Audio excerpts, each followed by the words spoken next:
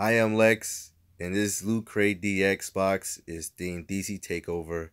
Gonna join forces with DC, and they put a bunch of superheroes and supervillains in one box for me. So let's see how that looks.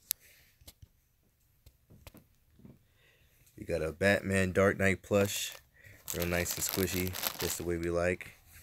We got some superhero socks, Aquaman with the Sister movies out, Wonder Woman, and The Flash.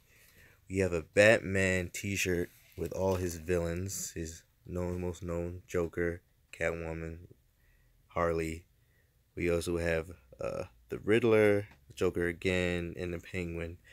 They also gave me uh, the first appearance of Batman in Detective Comics number 27 and Aquaman's first appearance in Fun Comics in DC.